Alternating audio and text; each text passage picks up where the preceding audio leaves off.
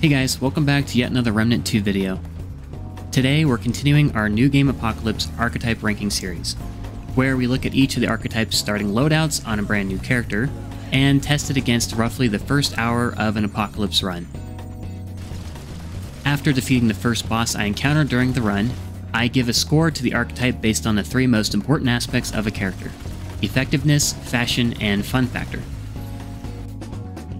If you haven't seen part 1, I recommend starting there, since I give a more thorough explanation as to what exactly I'm basing these scores on. But, in short, effectiveness is how well a character performs, fashion is how good the character looks while at blue equip weight, and fun factor is how much fun I had while playing. And before I begin, just a few quick reminders. This score does not consider endgame effectiveness of an archetype. This is only about a brand new character starting from scratch on the hardest difficulty. If you'd like my thoughts on how well an archetype can perform under the best of conditions, let me know down in the comments below, and I don't know, maybe I'll do a separate series on it if there's enough interest. These tests are not performed equally across all characters. Some characters will start in different worlds as others, and therefore will encounter different challenges. Some characters simply perform better under different circumstances, but it's important to capture that randomness factor that is core to the Remnant experience. And of course, everything in this video is purely from my point of view and is just my opinion. I play a lot of Remnant, so what's good for me is not necessarily good for you. Okay, so with all that out of the way, let's move on to the first archetype of this video. The Challenger is the third archetype we're covering in this series. And to put it plainly, their starting loadout is exceptionally good. They start with the Bulldog Shotgun and Silverback Revolver, along with the Iron Greatsword for their melee weapon. They get the Bruiser armor set, and their starting ability is War Stomp. War Stomp is a pretty strong, cone-shaped attack that can clear out groups of enemies in front of you. You get two charges, and it has a short cooldown, so this ability is a great way to deal damage and conserve ammo. It can also go through walls, giving you a safe option to thin out large groups of enemies. Unfortunately, the range is a bit shorter than it seems like it should be, so there's a bit of a learning curve when it comes to using it effectively. Also, there's some moments where the shockwave can straight up miss for some reason. Overall, War Stomp is a pretty damn good ability, and I like it a lot. The prime perk for the Challenger is Die Hard, which basically gives you an extra free life with a 10 minute cooldown. This perk is the reason to pick the Challenger for most players, myself included. If you're planning a hardcore run, then the Challenger is a no-brainer. Just keep in mind, it doesn't protect against instant kill attacks from certain enemies. Using our starting cash, we're going to pick up Leto's Amulet and Black Cat Band. Leto's Amulet is pretty expensive, but it will allow us to do more with our starting armor. The Black Cat Band is probably unnecessary here since we have Die Hard, so I would actually recommend first getting Dran's Scavenger Ring for the extra health regeneration. To get our armor to blue equip weight, we'll take off our helmet, swap our pants to the Survivor leggings, and swap our gloves to the Elder gloves. Thanks to Leto's amulet, we can maintain a pretty high armor value, and our character looks great. Damn. When it comes to starting mods, I had two choices in mind for the Challenger, Healing Shot or Concussive Shot. On the one hand, Concussive Shot excels in close range encounters, and has pretty good stopping power, giving it a lot of synergy with our existing loadout. On the other hand, our character will likely take a lot of damage. Since we'll be spending most of our time in close range combat, Healing Shot will give us a nearly infinite source of healing, which will make up for arguably our only real weakness. I ultimately decided on Concussive Shot, which was the wrong decision. On my hardcore apocalypse run, I started as the challenger and picked up Healing Shot as my starting mod. It was a much better option and saved my ass countless times, so yeah, just pick Healing Shot. Moving on to weapons. The starting long gun for the challenger is the Bulldog. The Bulldog is an automatic shotgun with a 12 round magazine and decent damage at the right range. If you can get in close, aim for the head, this thing can make short work of smaller enemies. The Bulldog, however, has two pretty major flaws. The first, of course, being its rather short range and high spread. This means you'll frequently deal only partial damage, which is pretty underwhelming. The second flaw is its rather low stopping power. Smaller enemies will usually only flinch from headshots, and you'll need to hit larger enemies non-stop just to get any reaction from them.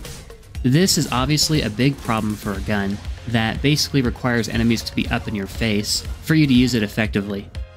The Bulldog is not a bad gun, and in fact, it's pretty fun to use against groups of weaker enemies. But as a starting weapon for the Challenger, the Bulldog is in a weird position where it's a worse option than both War Stomp and the Iron Greatsword. Moving on to the handgun. The Challenger starts with the Silverback Revolver, and this thing is pretty damn good. It has long range, high damage, and nearly perfect accuracy. The rate of fire is a little slow, but it's still quite reasonable, especially if you can keep enemies at a distance. And unlike the Bulldog, the stopping power is quite good. Great even for a handgun. It has a 5 round capacity, which, let's be real, it should probably be 6. And the only real downside to this weapon is its awful reload speed. The Silverback is quite simply a great handgun, and can easily work for the entirety of the game. And now on to the melee weapon. The Challenger starts with the Iron Greatsword, and this thing is fantastic. It deals high damage, has large, sweeping swings, and synergizes incredibly well with War Stomp. In a pinch, this sword even works quite well against stronger enemies and bosses. And not to point out the obvious, but it just looks damn cool, and I'm all about that. The boss of this run was Gwendil. I was worried about how well the Challenger would perform here, considering this boss is about landing precise shots against her bombs. But the high spread of the Bulldog actually made it quite easy to do. Also, the strong melee weapon and War Stomp made short work of the ads. So with all that being said, it's time to review and give a score to the Challenger. First up is effectiveness. The Challenger nearly has it all strong weapons, a solid ability, and arguably the best prime perk in the game. If you pick up Healing Shot as your starting weapon mod, then the Challenger is easily an 8 out of 10 for effectiveness. It would be a 9 out of 10 if War Stomp didn't randomly miss, or if the Bulldog had a little more stopping power. Next up is Fashion, and just look at it. Does it really get much better than this?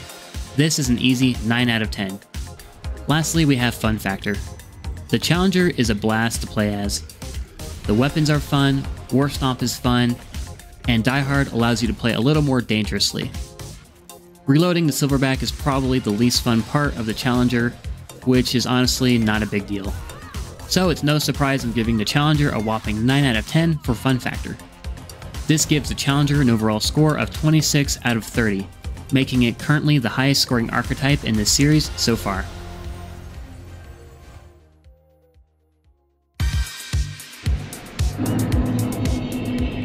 Fourth archetype we'll be covering is the fan favorite, the Handler, aka the good boy archetype.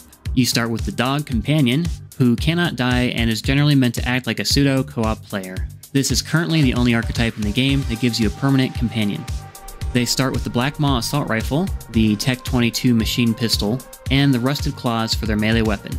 They get the Trainer Armor set and start with the ability Guard Dog. Guard Dog is an ability that has a lot to it, just by having the ability equipped, it grants a passive boost to your damage resistance, and causes the dog to generate more threat. It then also has three different ways to activate the ability depending on how you press the button. A single press sends your dog to attack enemies near your mouse target.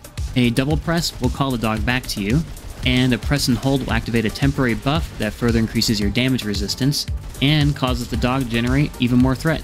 The handler abilities are the only ones in the game that function like this. I personally didn't find this ability all that helpful, as the dog generally did a good job of attacking targets on its own. But it's a good option to have if you want to micromanage your dog, or really need that temporary damage resistance. The prime perk for the handler is Bonded, which allows the dog to revive you with a 2 minute cooldown. I don't have any footage to show because I didn't need to be revived, but I'll give my thoughts on it anyways. Now at first glance, this seems like a pretty strong perk, and yes, the dog being able to revive you can be helpful. But unlike the Challenger perk Die Hard, this revive comes with some caveats. Caveat number one, the dog can't be downed. The dog can and will go down quite often on Apocalypse difficulty, and likely it will go down before you do. Caveat number two, the dog uses one of your relic charges to perform the revive. If you don't have any relic charges, you don't get revived. And there's a good chance the reason you're downed in the first place is because you ran out of healing. So, generally speaking, Bonded is fine, but don't count on it to save your hardcore character. Now, to get this armor set to the blue equip weight, the optimal choice is to remove the pants. But this looks dumb as hell, so just remove the chest instead. You lose a little bit of armor, but the difference is so small it doesn't even really matter. For rings, I went with Black Cat Band and Dran Scavenger Ring.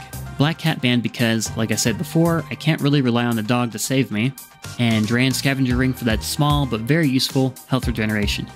For the starting weapon mod, I went with Hot Shot. To be honest, none of these options really synergized with the handler's loadout, so I just went with Hot Shot for some extra DPS. However, Healing Shot does have some extra value with the handler, and I'll touch on that later.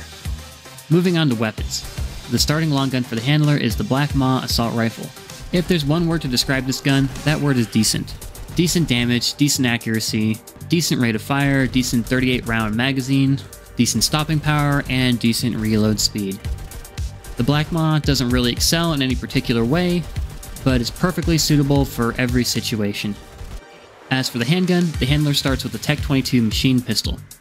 This thing is an absolute bullet hose.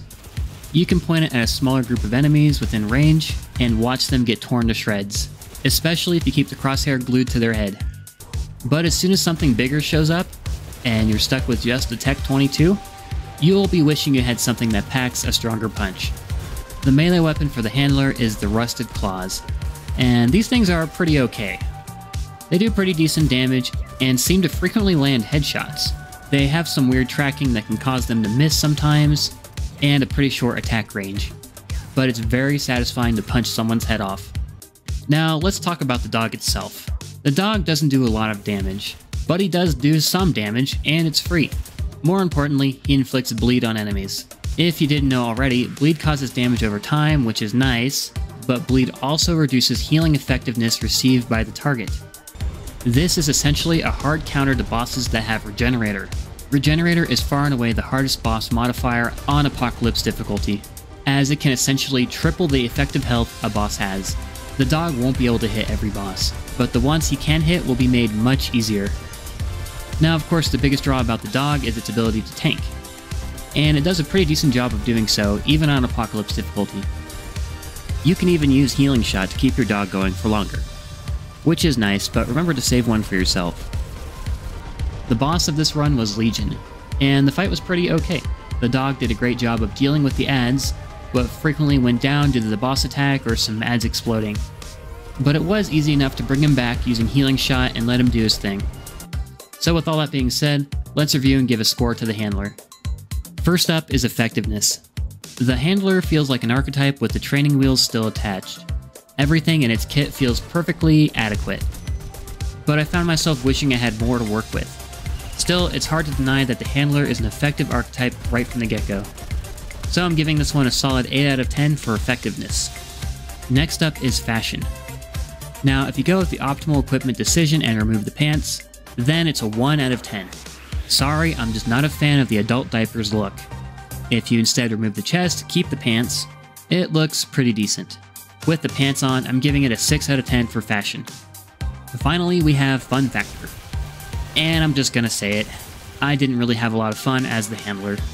The Black Maw is about as vanilla as you can get for a weapon. I prefer weapons with more punch or more specific use cases.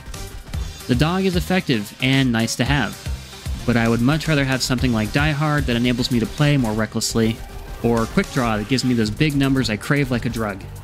So for those reasons, I'm giving the handler a 5 out of 10 on the fun factor scale. This gives the handler an overall score of 19 out of 30, a pretty mid score for a pretty mid experience.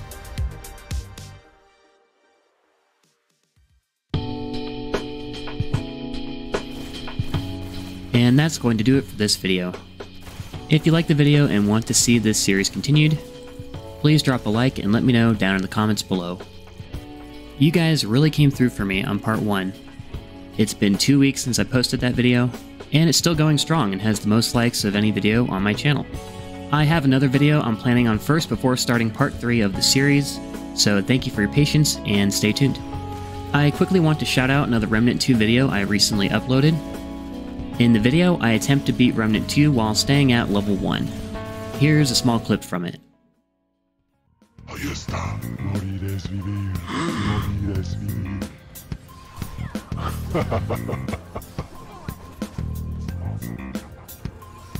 come on, motherfucker! Come on, motherfuckers, come on! Come on, motherfuckers, come on! So if that interests you, I'll have the link shown at the end of this video and in the description below. For some reason, YouTube won't promote it, and I'm kinda depressed about it, honestly. It really, really sucks that I spent weeks working on it, and I think, hey, I did a pretty good job. But then YouTube just decides nobody's going to see it. So I would greatly appreciate if you would check it out and maybe drop a like if you think it's good. Anyways, I'm sorry about the micro rant. Again, I hope you enjoyed this video, and I'll see you in the next one. Peace.